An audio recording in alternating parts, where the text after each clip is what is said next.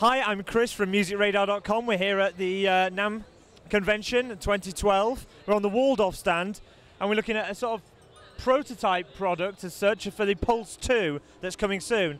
Um, so tell us a bit about it, Stefan. Well, um, the Pulse 2 is a, um, a, new edition of the Pulse we originally did in 1995, I think.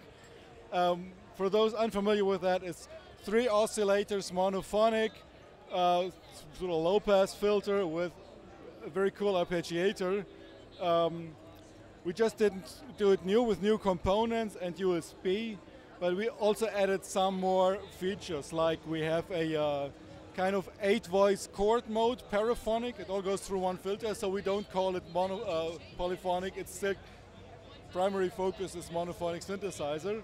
Uh, we have the uh, cascade filter, but we managed to get uh, high pass and band pass also out of the cascade filter, so we have like four filter modes. Um, besides that, it's pretty much compatible to the old Pulse that we once did, like with the fancy arpeggiator.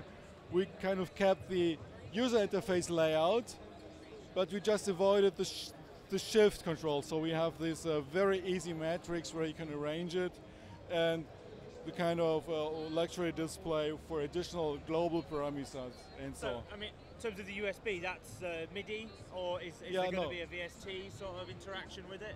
No, that's MIDI and for, for interaction with a possible editor or so. Editor for yeah, preset saving. Yeah, and for preset saving, it has like 500 presets inside. Yeah, not like only 20 presets like the original Pulse. Yeah. yeah.